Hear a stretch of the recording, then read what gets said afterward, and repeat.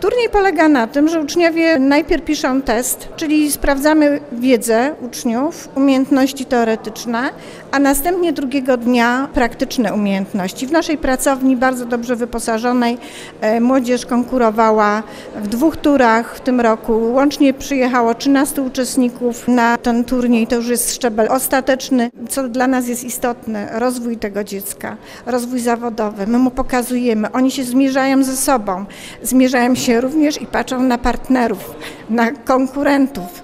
Podpatrują różne kreacje kulinarne. Pasja zaczęła się od y, zwykłej pomocy mamie w kuchni.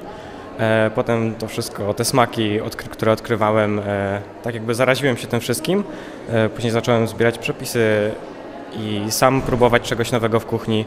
I później szkoła średnia, wybrałem właśnie szkołę gastronomiczną i dalej to już wszystko się rozwijało samo. Myślę, że w kuchni to jest, to jest moje miejsce, gdzie czuję się naprawdę pewnie i lubię odkrywać nowe smaki. Patrzymy na, na dania pod względem jakości, smaku, y, wyglądu, ale też i mody, no tego, czego my dzisiaj oczekujemy. Dla nas, kucharzy, naszego środowiska jest bardzo ważne, żeby mieć możliwość y, patrzenia i sprawdzania e, naboru młodych ludzi, adeptów do, do tego zawodu, ale też umiejętności poruszania się w tej branży. Jesteśmy dumni, że ci młodzi mają i aspiracje, ale też mają dużą determinację, żeby umieć się znaleźć w tych trudnych czasach w gastronomii, ale też, żeby pokazać to swoje ja, że każdy z nich ma ambicje, żeby udowodnić, że jest godny tego, żeby go w przyszłości nazywać już w pełni kucharzem.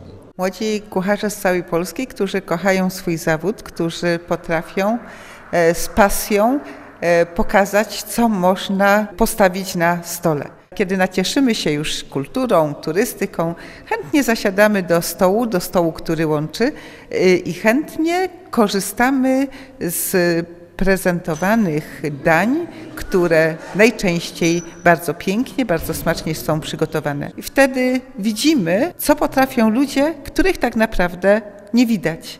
Ci wspaniali ludzie, którzy z sercem podchodzą do swojego zawodu, potrafią wyczarować najpiękniejsze rzeczy na stole. Cieszmy się tym.